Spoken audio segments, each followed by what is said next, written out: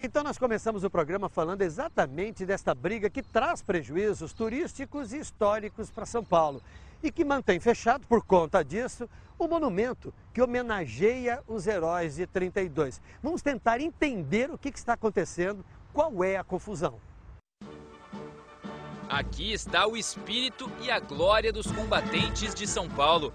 Sob o mármore italiano, os restos mortais de mais de 800 combatentes que perderam a vida lutando na Revolução Constitucionalista de 32.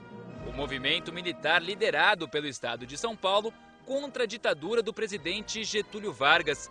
Foram três meses de conflitos. Um dos momentos mais marcantes foi a morte de quatro estudantes: Martins, Miragaia, Drauzio e Camargo, MMDC, iniciais que até hoje simbolizam a revolução.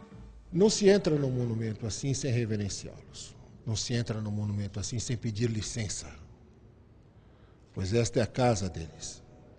E aqui está o espírito e a glória dos combatentes de São Paulo que pediram, clamaram e lutaram pelo ideal constitucionalista. É o único monumento do mundo que celebra uma derrota militar, mas uma vitória civil, uma vitória cidadã. Este homem conhece como poucos cada detalhe do mausoléu desde a cripta aos mosaicos feitos em Veneza. Ele é neto do escultor italiano Galileu Emendabile, o homem que projetou o monumento 9 de julho, que fica bem pertinho do Parque do Ibirapuera, um dos cartões postais da cidade. Essas fotos do arquivo da família mostram Galileu ao lado do presidente Juscelino Kubitschek em visita ao mausoléu.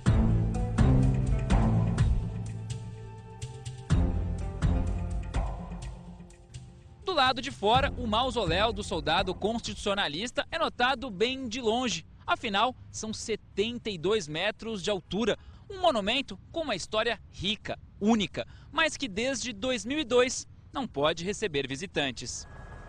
Isso por causa principalmente de uma briga na justiça. Na época, a fachada foi utilizada para propagandas de duas empresas, a Sociedade dos Veteranos de 32 era a responsável pelo mausoléu. A família do escultor entrou com uma ação na justiça e a propaganda foi retirada. Ele é um monumento que hoje se encontra sequestrado da população de São Paulo. São Paulo é a cidade que mais recebe um fluxo de turistas no Brasil.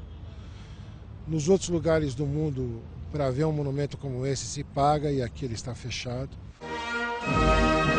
Outro apaixonado pelos ideais revolucionários de 32 é o Coronel Ventura. Pai dele foi um combatente. É neste quarto acanhado que ele guarda fotos e recortes de jornal dos tempos da Revolução. O coronel é o presidente da Sociedade dos Veteranos. Ele lamenta que o monumento esteja há tanto tempo fechado e diz que os contratos de patrocínio feitos na época pela sociedade eram a única forma de conseguir dinheiro para a restauração do local. E desde 1980, nós vínhamos pleiteando junto ao governo que se fizesse o restauro por uma necessidade. Senão o monumento ia ficando cada vez em situação mais caótica, né? Quer dizer, muita coisa foi feita Muita coisa foi feita e está sendo feito, mas o problema de falta de verba é que cria toda essa celeuma, né? Por causa da polêmica entre a Sociedade de Veteranos de 32 e os herdeiros do escultor, há quatro anos, um decreto estadual passou o controle do monumento para a Polícia Militar. É oficialmente através de um decreto do governo do estado desde 2006, que passou uma série de atribuições para a Polícia Militar no que diz respeito à segurança, conservação, e investimento. Né? Então é desde essa época que oficialmente nós estamos com essa atribuição que para nós é muito importante. No mausoléu, não precisa ser muito observador para perceber que esse patrimônio está esquecido há anos. São infiltrações, buracos e manchas de ferrugem que não combinam em nada com um monumento tão importante. A Polícia Militar diz que espera a conclusão do processo judicial e uma vistoria técnica para avaliar as condições do local e liberá-lo para visitação. Enquanto isso não acontece, parte da história começa a ser esquecida.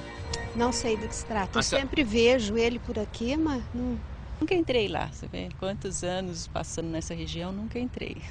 É lamentável, assim como outras coisas que a gente percebe que não são valorizadas nesse sentido né, da, da nossa herança histórica. Eu acho que é um, algo que deveria ser valorizado e até mais comentado para que uma pessoa como eu ficasse mais a par. Né?